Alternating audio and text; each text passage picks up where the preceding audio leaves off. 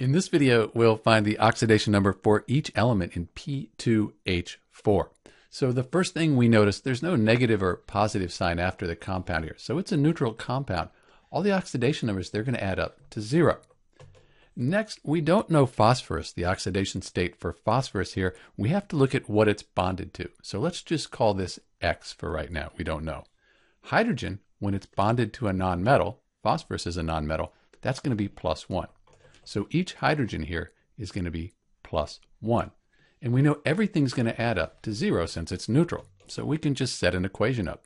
2 times x, so 2x plus the 4 times the 1 there, all of that will equal 0.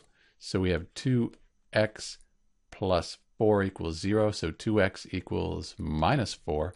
Divide both sides by 2, x equals minus 2. So the oxidation number on the phosphorus, on each of these phosphorus atoms, that's going to be minus 2. And that makes sense. 4 times 1 is 4. 2 times minus 2, that's minus 4. So 4 and minus 4, that gives us the 0. This is Dr. B with the oxidation numbers for each element in P2H4. Thanks for watching.